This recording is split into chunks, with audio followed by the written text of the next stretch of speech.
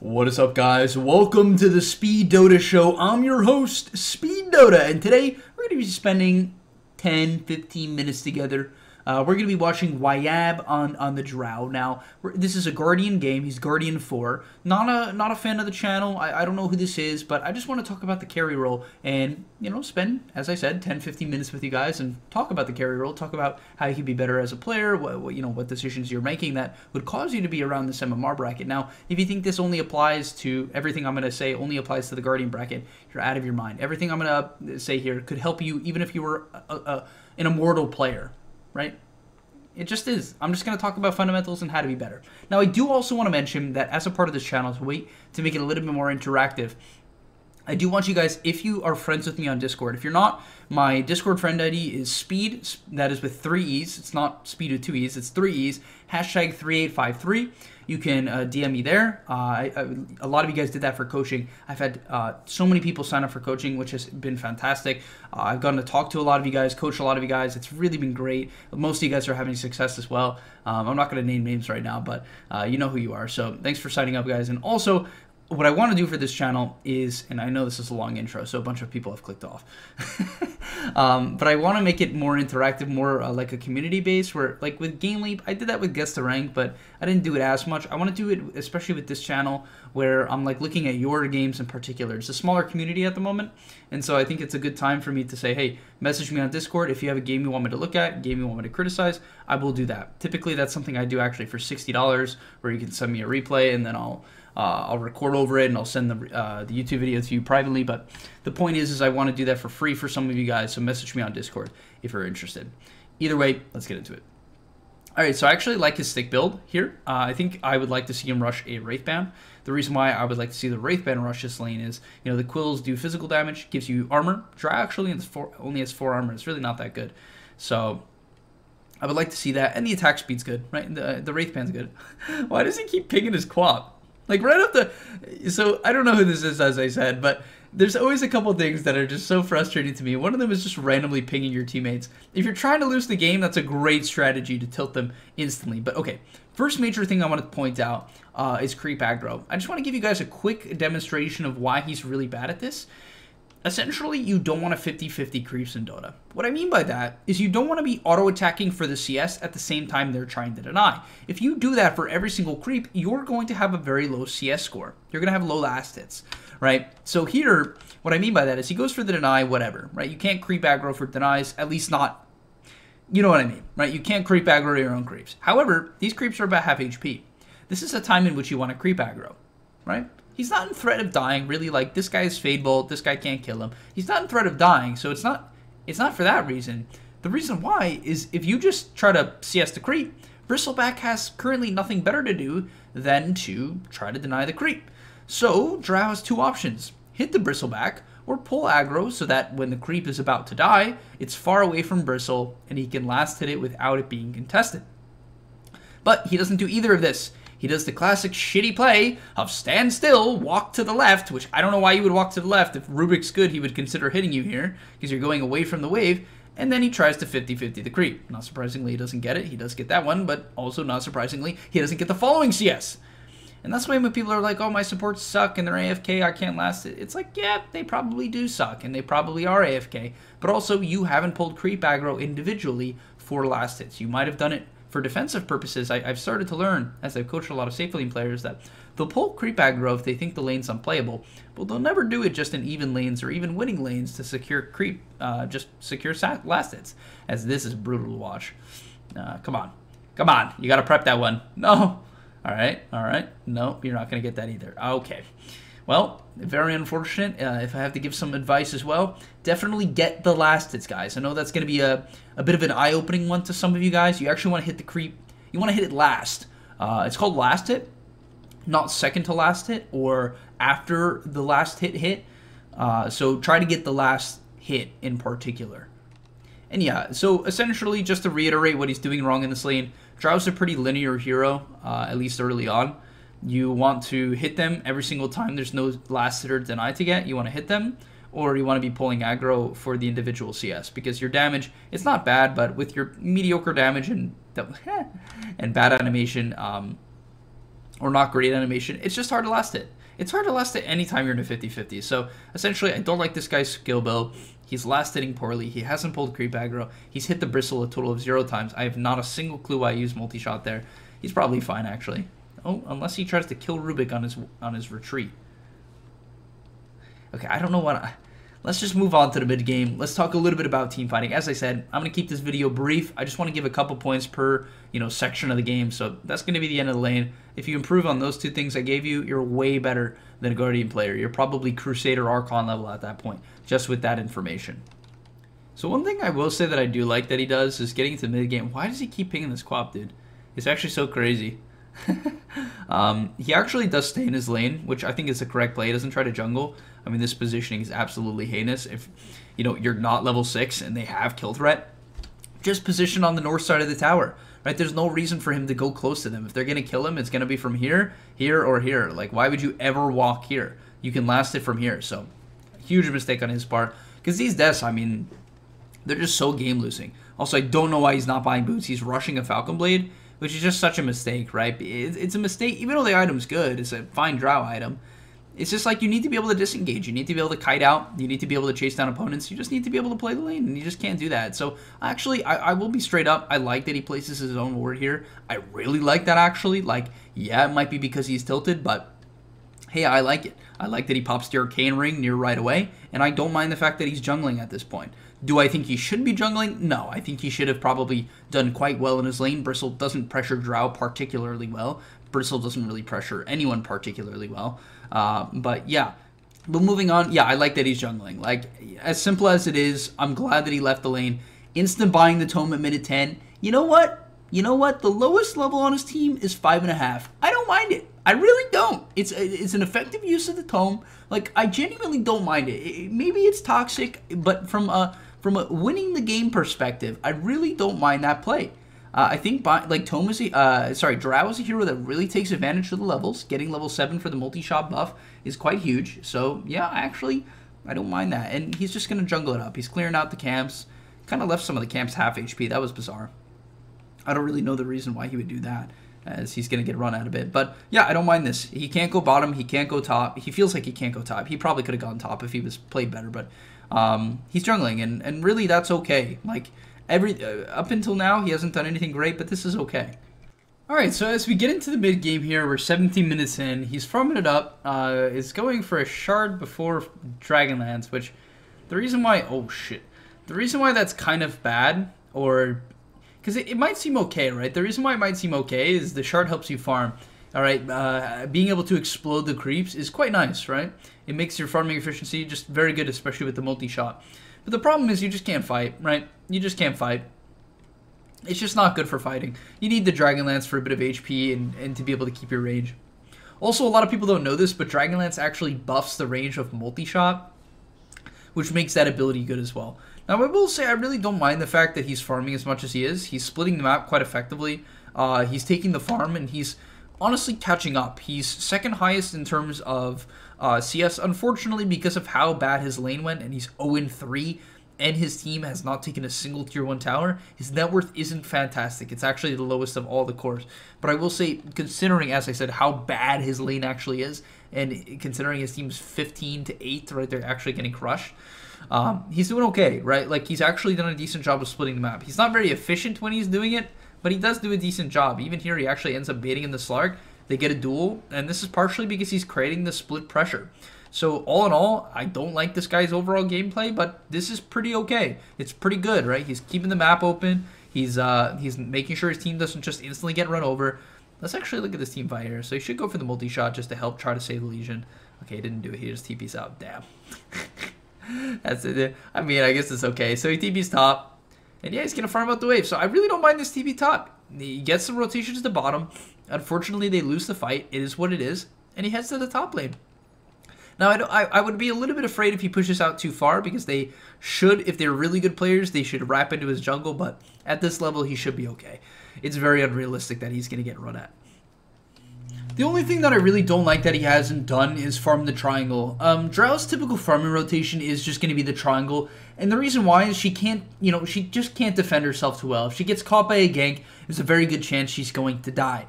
Um, and as a result, you'll spend most of your game, you'll see pros spend most of their games in the triangle, and there's good reason for that. You can clear the mid wave pretty uh, safely, and you can kill the triangle reliably and safely as well. So, as much as I do like him keeping the map open, and it's great to push in side lanes, if the enemy team shows top on five heroes, you should go to bottom, right? As the carry, you should keep the map open and take the farm. So I do like that, but he's not farming Ancients at all. It's bad for your efficiency. It's bad because, like, let's say he farms this creep wave. It's just like you're just taking creeps away from Slardar and Legion. It might not seem like a big deal, but when you're trying to play to win the game, you're trying to optimize your farming efficiency. As here, he's not attack moving at all. You have a 60% slow, 55% slow. Hit the guy and run away. Oh, man. He might die because of this. He's probably going to die. All right, decent TP chance. Might work. Okay, should have popped this one before TPing. So that was quite disastrous. Didn't use Frost Arrows. They just try to siege a tower. And this is also what I mean. He's just, like, this doesn't make very much sense. Right? They, they killed the Slark, which I get. Um, and honestly, this was a really well synergized play from the enemy. I'll keep it real. I didn't expect this either. Uh, but yeah, the the slardar just I mean the bristle goes in. He knows he's unkillable. He's got this like crimson. Oh, I love these builds, man. They're so funny. the the crimson reaver is just a classic. It's just a cert. It's just a certified classic, man. The heart rush on bristle is always just a classic. It's like, yeah, I don't need a halberd. You know, I don't need a wand. I don't need a windlace. I don't need an axe. Nah, just buy a heart. You know, I'm just trying to not die. Unfortunately, Drow actually wins this game, so I guess this build doesn't work out for the Bristle, but yeah, didn't really do anything correct there. He didn't uh, he didn't Q at all. He didn't attack move. He didn't pop his wand. He was on intreads the entire time. That was just that was just a mechanical disaster, unfortunately. Are moving on to see what he does next. He runs mid instead of taking the direct path to the Ancients, so pretty inefficient. I don't know why he would just not run this way instead of this way, but Okay, gets the Grobo. That's fortunate, as he's going to look to push in bottom. So he's clearly a very greedy player, right? That's the way he likes to play the game, which, you know, has its value. Uh, in, in low MMR, people are going to fight 24-7, so you, you do need to pick and choose your fights. For instance, here, he should run mid. Uh, because this team, like, this is a big thing people fuck up. They're like, oh, I'm, I'm the hard carry. I should farm the whole game. It's like, eh, you need to fight eventually. You need to win the win the game for your team. You need, which you can do by farming, kind of, but eventually you have to help them out right? So, for instance, they get a great sniper pick off that you see them chasing, and you're you're at a decent timing. I mean, he's poor. Don't get me wrong. He is like a giga poor. Okay, apparently he's not that poor in relation to the other people. He's poor. But the thing is, he's got his D-Lance, which is like a big timing for Drow. It makes the hero way stronger. Like, way, way, way stronger. So I would have liked to see him show up here. I don't see why not, right? They killed the sniper. A huge multi-shot on the Slark would take away half his HP here and help the Slardar turn right? They could they could skirmish here. They could fight. So I really don't like that he's just completely blind. And if he is going to be blind, he should keep going, which, okay, he does do. Now he's going to show up mid. Unfortunately, the Slardar doesn't chase in this case. I mean, the Bristle, so he doesn't get too much value out of it. As Actually, they'll find the... Okay. All right, good good little play there. I think chasing mid here is actually okay, because they might need his... Brother, brother, hit from max range. What are you doing? Just click. Why are you gusting a bristleback? What? What is this gust? He just puts himself out of position to waste gust. Alright, I mean, he clicks him down anyway, so clicks him down. I don't know if this sniper's to die. He's level 17. Maybe he'll die, actually. Alright, they'll get the Rubick. Stop gusting! Oh my... Why does this guy just gust for no reason? He's one click away. Why are you trying to silence him? Just click him. Oh, sniper actually mans up. Holy! Pop your wand. Okay, pops him one. Oh, yes. Unbelievable. All right. The Gust usage, I'm going to give it a 2 out of 10 max. He gets 2 points for actually using the ability. 8 points lost for not using it in any sort of semblance of correctness. But, uh... Alright. Pipe breaking out. So he will show up. Don't do this, guys. Like, yes, I understand he's trying to burst the Slark, but you have 500 HP, and even if he didn't have 5... Even if he was full HP, casting Hurricane Pike aggressively is so risky being able to push someone away from you is like the whole point of buying the item. Because you want to keep your ulti active, right? It's, it's also good to get the five hits off or whatever, but you want to keep your ulti active. And now he has to be so afraid, right? He can't keep going, he can't keep chasing, but whatever. Ends up not mattering there. Just don't make that a habit. The amount of aggressive force staffs I see in low MMR just makes me want to vomit in my mouth. It's so awful nine times out of ten. Right? Situationally, it's the right play to guarantee someone doesn't get off a Ghost Scepter or a Glimmer or a BKB or whatever. Like situational or Dark Pact or eh, Slark ult. Like so, sometimes it, it is the right play, but most of the time it's not. So just be careful about it. All right, fight breaks out here. I'm, I'm interested. Yeah, he just has this big like auto attack problem, and this probably happens to a lot of you guys. So when like the fight's breaking out, you need to not move forward. You need to play your max range. No matter what hero you're playing, nine times out of ten, you want to play your max range. Why? So that they can't kill you.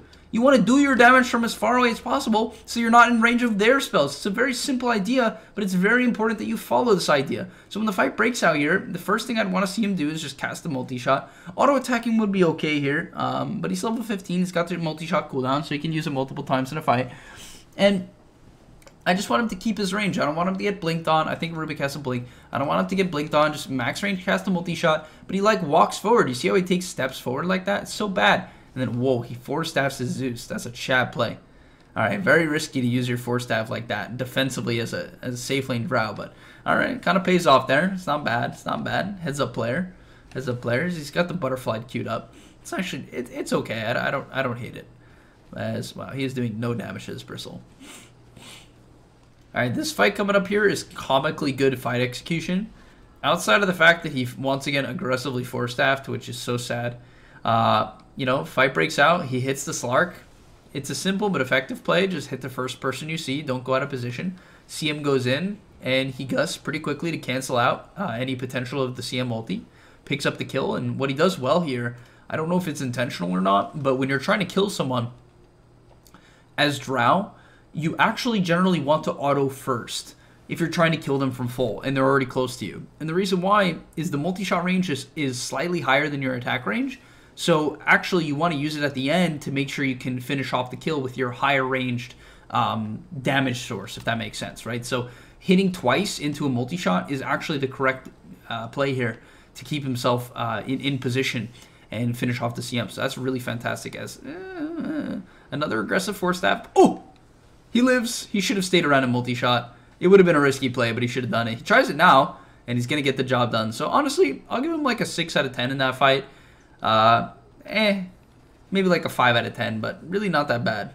And I will say, I think one thing that this guy does is he, he is like pretty good about farming and pushing out waves. The problem is his team is kind of killing him, killing themselves the entire time, and sometimes he just does it too much, right? He never, like, it's really odd. He does it, he kind of farms too much at the wrong times. Um, basically, you just need to have very good map awareness of like what's going on around you. All right, we're going to see a high ground attempt here. Let's see what Wayab can do. Will he force staff aggressively into the enemy base? There it is, yes! That's what I'm talking about, baby. Let's go! Way to waste that force staff. Come on. That's how you dive the high ground and throw. Okay, goes for the gust. Doesn't connect, unfortunately. He's now standing pretty far up in the enemy base. Will continue to walk away, which is good. He needs to be a little bit careful, but... Okay, sieging away at the base. Once again, needs to be a little bit careful about getting jumped by the Rubick lift, as he will get lifted in now. He's going to have to force staff away. Thankfully, he has it. Uh, fortunately, it came off cooldown from its previous usage. Goes for the Gust, isn't going to connect. Could stick around for a multi-shot, max range here. No, we'll back off, which is fine. Probably the correct play here. So, okay, not too bad. Really, that was... Outside of the uh, fantastic usage of Force Staff, Kappa, please don't... That's not correct. Outside of that, uh, not bad, actually. Pretty okay. Good disengage on the back end. This guy is such a problem. It's insane. Why did he... I don't understand how you develop this habit. Not like surely he's died from aggressively force staffing like a million times at this point, right? Surely doing this has gotten him killed like 14,000 times. How does he do it every single time without fail? I actually can't believe it. I just like I know this is supposed to be some educational video, but I'm just blown away with the fact that he just constantly dies because he's just melee range as Drow. Like I actually don't understand. Play your max range, guys. Like and I, I know you might be like, oh, I, I don't do that. This has nothing, like, there's nothing to learn here. It's like, you probably still aren't playing at max range. You're probably not casting multi-shot as fast as you can, right? You're probably not kiting out. You're probably going a little bit too deep. So, for instance, here, I, I don't hate him chasing. I mean, I Slardar is going, but then from there, I mean, he's going to get, like, he literally stands still to hit the, hit the tier thing. Maybe it was a misclick. Might have been a misclick. But he doesn't have Hurricane Pike. Now he does, but it's too late. Shocker, he didn't have his item up, and he dies because of it. Also, one thing to note is this item build is not a defensive item build. He doesn't have Manta or BKB, and that's fine. I don't really hate it, especially at this level, but you need to play accordingly. If you're going to go a build like this, just don't be that aggressive, right? Stay in the back, let them dive your team, and then just pump out damage because you've went up glass cannon build. I, as I said, I don't hate the build. I think it's fine. The enemy team really lacks backline jump this game, so you can get away with it. You just forced to have to kill a creep wave. I can't. I can't take it. I'm gonna. I'm gonna close this replay. So I can't take it. I can't take it. Why does he do it? I don't get it. Why does he do it? All right, he's gonna get the Aegis here. Good play. I love that they're roshing. Shard coming up, probably for the slardar, maybe. Who knows? Um, okay. I just want to see him not force the high ground too hard. They do have a sniper. I really just want to see him play the max range and siege from max range. So he will do that here. It's good. Mm, okay, yeah. I, I like that he waits and doesn't walk up immediately.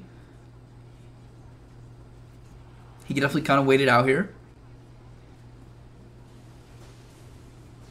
This fight's going to break out. Let's see how he approaches. So he's going to go in for multi-shot. Kind of a good idea here. Can hit on this of the Slark. So save this pike in that case. Good usage of the pike. You have to be a little bit careful. Just try to hit from the low ground. Now, another multi-shot opportunity here. Perfect, perfect. This is beautiful. Um, okay, Silver edges aggressively to try to kill the Bristle, which I think is okay. It's a key kill for him here. So he's going to get pelted down by the sniper, unfortunately. But looks like because he got that Roshan earlier, he will be able to secure the fight. Bristle ball back. Uh oh, he can... Okay, he can Silver away. Go for the Cycle Play. Try to kill him. uh, it wouldn't have worked, but I just want to see him do it. Alright, last fight of the video. Um, so Legion wastes her Press the Attack. It's not great, but okay. Once again, he doesn't ever... Oh, God, he can't walk up like this. Ah, it's so ugly. If they just lift him into into their base and follow it up with the, some, um, you know, some nukes, he's just instantly going to get dropped to half HP with no way to heal. He has no lifesteal, no Paladin Sword. Like, they should just chip him so easily here. He even is going to get chipped pretty easily. Fortunately, they don't do it the right way. They commit with Bristleback instead of just, like, Fade Bolting him with a lift.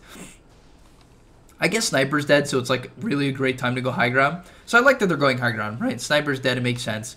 Um, but you, you don't want to approach from the low ground. You want to hit the tower from as far away as possible so they can't just casually poke you down. Fortunately, didn't matter there because they fucked up, but, you know, it definitely could matter as he'll just pelt down the drow. Good positioning, multi-shot here on the... Okay, very slow on the multi-shot to follow up the duel. Um, but okay, not bad. Legion's going to get lifted. Nothing you can do here. Oh, okay. Slardar goes in. Yeah, I was going to say, I think you lose this. Slardar's too low and it'll go down. But alright, thank you guys for watching. Hopefully you learned, hopefully you enjoyed.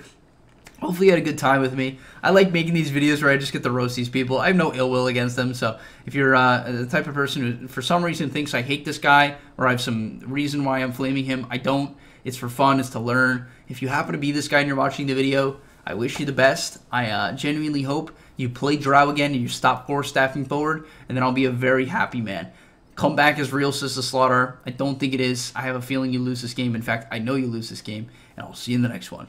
Peace.